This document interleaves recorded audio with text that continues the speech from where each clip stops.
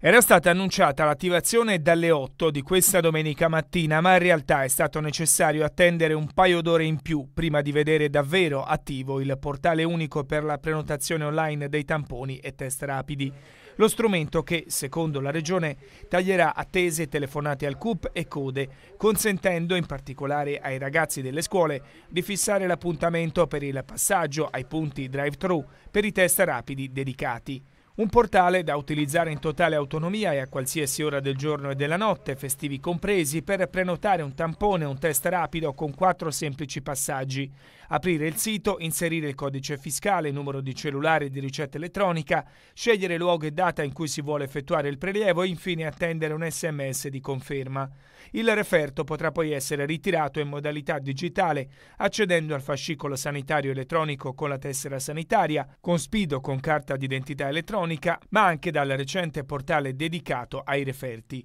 Oltre al portale di prenotazione verrà in questo caso utilizzata nei drive-thru per loro natura mobili la app sviluppata dalla regione denominata A Scuola in Salute che consente agli operatori di registrare l'accettazione e l'esecuzione del test stesso direttamente sul posto. Ai ragazzi delle scuole verranno dedicati prevalentemente i test per la determinazione qualitativa di antigeni specifici per SARS-CoV-2, data la velocità di esecuzione che va dai 15 ai 30 minuti, andando così incontro alla necessità delle famiglie e delle scuole di avere risposte in tempi rapidi.